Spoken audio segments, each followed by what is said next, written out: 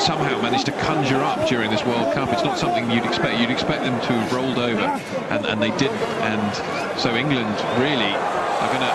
The, the other thing is, well, Sackey here makes a break and should be able to go over for the bonus point. Well, that could be incredibly vital. Brian Ashton isn't convinced it's been given yet. That's why he wasn't getting. So it's a brace for Sackey and a brace for Corry. And Alan Davis has asked for confirmation from upstairs. Well, it was actually a very important try to score. I think if England had gone away without the bonus point, they'd have felt, you know, very, very disappointed. And bonus points could be so crucial in this, in this particular pool. Lovely inside pass, and uh, you know, a lot of fatigue in the Samoans' legs. Defence not aligned. And Tuilagi just unable to make the tackle.